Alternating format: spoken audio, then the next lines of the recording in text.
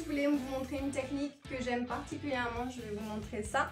Voilà, c'est une... Euh, c'est un effet écorce. Donc je vous mettrai des photos avant la vidéo, après pour que vous voyez bien le rendu. Euh, j'adore cette... Désolée, je recule parce que ma cuisine est toute petite. Donc voilà. Euh, c'est en fait une technique que j'adore parce qu'il n'y a pas besoin d'outils. il n'y a pas besoin de colorant E171. Vous pouvez le faire avec pour euh, des pièces de concours par exemple ou, euh, ou si les gens qui le mangent ça les dérange pas, s'il y a des gens euh, que ça dérange pas. ou vous pouvez faire ça en fait avec l'autre technique que j'aime beaucoup, qui apporte aussi de la texture. Voilà, donc je vous laisse découvrir ça et j'espère que la vidéo vous plaira. Si elle vous plaît, mettez-moi un petit like s'il vous plaît. n'hésitez pas à, à, vous abonner et n'hésitez pas surtout à me laisser des commentaires sur ce que vous aimeriez voir comme vidéo, euh, si vous que je change dans les vidéos, voilà, je fais ça en amateur, donc euh, tous les conseils sont les bienvenus. Voilà, je vous montre la vidéo et à tout à l'heure. Voilà. Donc là, j'ai de la Fun. Non, Fun, pardon. De la Fun Cake. C'est la première fois que je l'utilise. J'étais en galère la dernière fois et j'ai trouvé ça sur Amazon. Euh, je ne l'ai pas encore utilisé en fait, donc ça va être un test. D'habitude, euh, j'utilise de la Rencho parce qu'elle est super. La Rencho, vous pouvez. Là. Avec la Rencho, vous pouvez. Euh, c'est vraiment petit ici, désolé.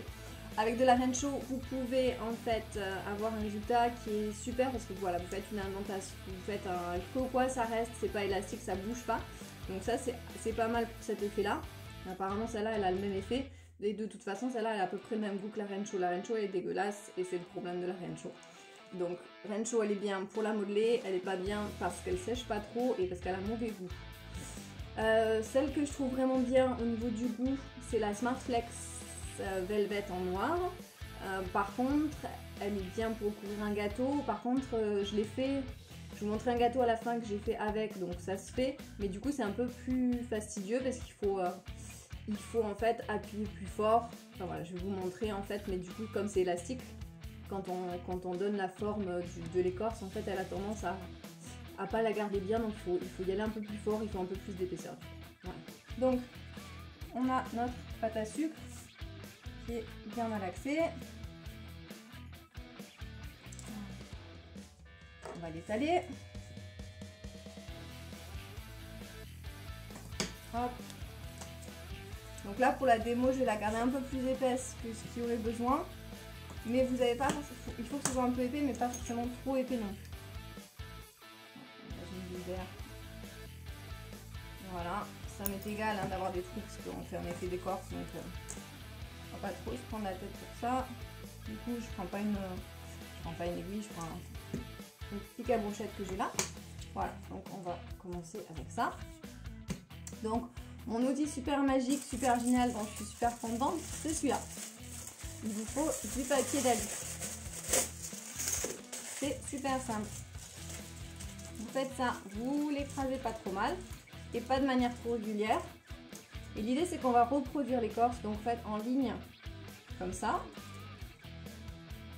Et on vient marquer la pâte à sucre avec ça. Donc on essaye de garder des lignes mais il faut pas que ce soit trop régulier non plus. Donc après, vous pouvez un peu tourner. L'idée, c'est que dans, dans la... Dans l'impression générale, il faut que vos lignes soient dans ce sens-là. Donc hop, là je viens me servir, je me suis servi du, plat. Maintenant je vais me servir un peu sur le côté. Hop, j'enfonce un peu plus ici, on va faire un trou. Voilà.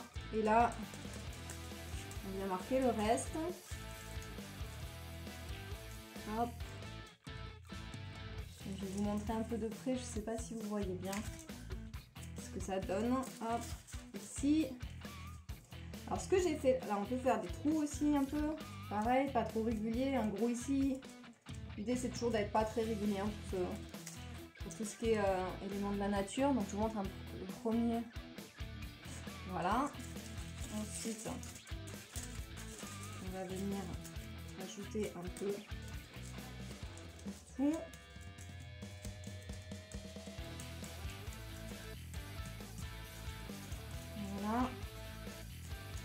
Bien marquer le bois. Donc là, on va rajouter un peu des lignes parce qu'on n'en a pas beaucoup.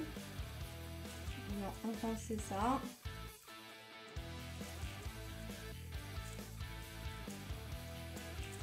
Alors ce que j'ai fait la dernière fois, j'ai fait ça. Je fais un peu plus solide. Je prends une petite pince. Hop. Je passe partout en fait. Pas trop parce que je fais des petites... Euh, Ça permet de rajouter quelques petites lignes. Si c'est mieux. ça tient juste un temps. Mais voilà. Donc là, je suis assez contente du résultat. Et maintenant, on va faire, euh, faire ressortir tout ça avec de la peinture.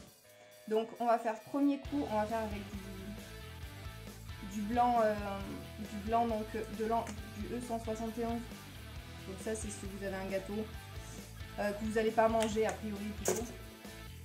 Voilà, il faut quand même que vous les gens, prévenir les gens que vous en avez mis. Voilà. Et là, ça c'est mon pinceau en fait. Je trouve que c'est ce qui rend mieux en fait. Donc voilà, je viens un peu prendre un petit peu. un peu. Hop, et on vient et on fait des tâches. Encore une fois, il faut que ce soit irrégulier. Donc si vous en mettez plein par là, mettez-en moins ailleurs. On s'est décidé que ici il y en aura beaucoup.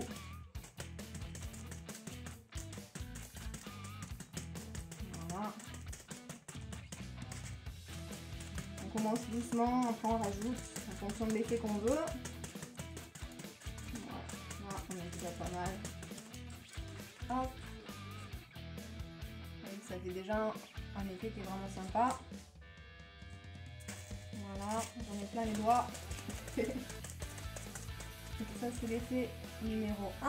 On va y rajouter encore un détail en plus pour que ce soit un peu plus réaliste. On rajoute du marron. Ce marron là, il est de PME. Et c'est Teddy Brown, euh, pardon, euh, Teddy Bear Brown. Et j'aime vraiment bien celui-là en fait. Euh, il est vraiment riche, c'est un marron qui est, vraiment sympa. donc on va en mettre un petit peu ici. Hop. Je sais pas si vous allez voir les nuances, mais ça vaut vraiment le coup de le faire. Donc là, je vais reprendre un peu de papier d'alu. Je prends pas le même pour pas qu'il se noie en fait dans le, dans le blanc qui était dessus.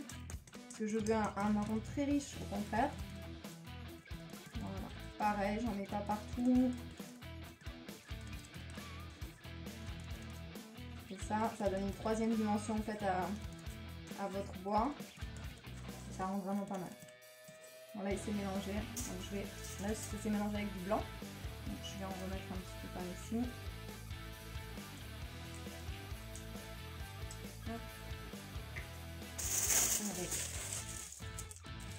Un propre.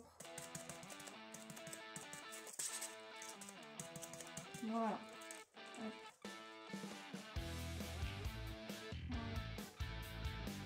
Ça donne une autre dimension. Vous pourriez aussi commencer avec une pâte à sucre marron et rajouter du noir, l'inverse.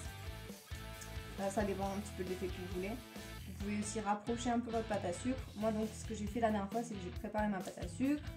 Ensuite j'ai mesuré. J'ai découpé. Je suis allée mettre ça. je suis à l'arrache. Je vais aller mettre tout ça en fait après sur mon gâteau, comme on, avec la méthode de vanilline. Et après on peut rajouter aussi des petites mousses ou quoi, mais l'effet il est déjà pas mal du tout.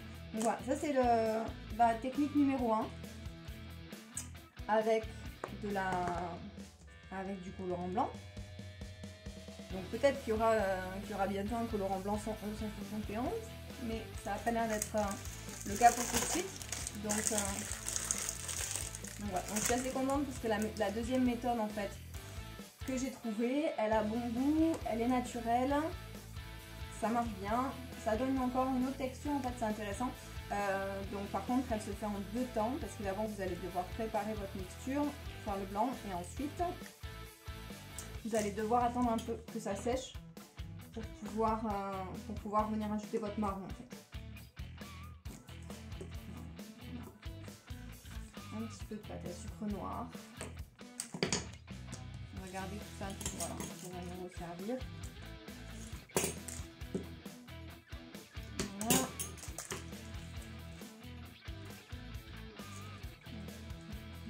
Mmh.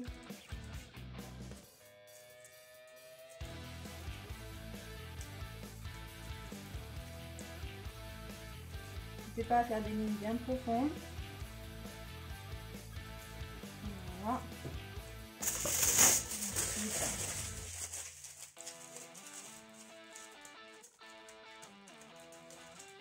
On ajoute de la texture partout. Les trous.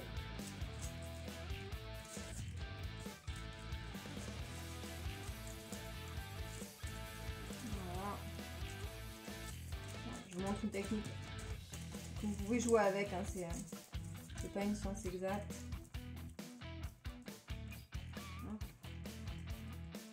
L'idée, c'est de s'amuser avec. Voilà. Donc là, on a notre deuxième. Et là, on a notre ingrédient secret magique. C'est du glaçage royal. Donc c'est jaune d'œuf, euh, sucre glace et du jus de citron, tout simplement. Voilà. Donc je l'ai fait euh, très épais, comme vous pouvez voir. Donc du coup, je vais pas réutiliser ça puisqu'il y a du 271 dessus. Hop. Là, il faut y aller doucement parce qu'en fait, euh, on met un peu partout et après, je viens tout récupérer. Voilà. Hop. On va mettre un petit peu quelques touches et après, on vient. Encore une fois, faites attention de laisser des endroits où il n'y en a pas, des endroits où vous en avez beaucoup. Voilà. Alors là, vous avez l'effet que ça donne quand ça vient juste d'être fait. Au fur et à mesure que ça sèche, vous allez avoir de plus en plus de contraste parce que quand ça sèche, le glaçage royal c'est d'autant plus blanc. La différence ne sera pas énorme parce qu'on a quelque chose qui est quand même très épais. ça se voit, ça coule pas. Voilà. Euh, ce qui est vraiment bien avec cette technique là aussi, indépendamment du goût et euh, du fait qu'il n'y ait pas de E171, qu'on ait moins de colorant, plus naturel, c'est aussi parce que quand vous allez venir mettre votre marron, il va ressortir en fait. Au lieu de se mélanger au blanc comme avec l'autre colorant, ça va, ressortir comme si vous étiez en train de mettre du marron sur un fond blanc, blanc et du coup en fait il y aura plus de contraste et ça c'est vraiment sympa. Donc là il faut attendre, je vais revenir après vous montrer. Euh, quand c'est sec on peut rajouter le, marron. Voilà. Voilà. Donc euh, là j'en mets de manière bien concentrée. Ah, pas partout, hein, mais euh, je veux que ce soit assez riche comme couleur. Hop. Donc là, on voit ce que ça donne. Là, je trouve aussi que j'ai pas mis assez de blanc en fait, pas de contraste par rapport à l'autre. Donc je vais venir en rajouter. Je vais essayer de le faire au doigt aussi pour voir en en mettant juste un petit peu.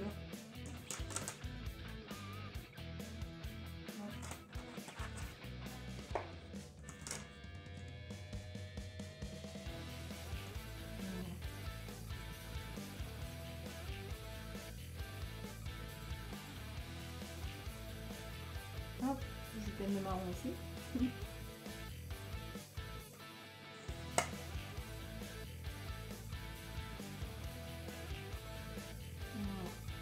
En fait, ce qui est important, c'est que vous créez le plus de matière de texture et de matière possible. Parce qu'en fait, si vous prenez une vraie écorce, c'est comme c'est ce que ça donne. Donc voilà. Donc là, vous avez l'effet avec le glaçage royal. Donc je laisse sécher bien les, deux euh, pendant un quart d'heure. Je vais prendre en photo et puis voilà, et puis je vous mettrai les résultats. J'espère que ça vous a plu et puis que vous vous amuserez avec. Je suis contente parce que le, papier d'alu c'est vraiment, ça, coûte rien. A priori on en a tous dans la cuisine. Et puis ça, donne vraiment un effet sympa au niveau de l'empreinte. On dirait quasiment que c'est un, moule qu'on achète euh, pour faire un effet bois en fait. Alors que c'est quelque chose de, gratuit. Enfin gratuit, presque. Voilà. Bon, et eh ben j'espère que ça vous a plu. À une prochaine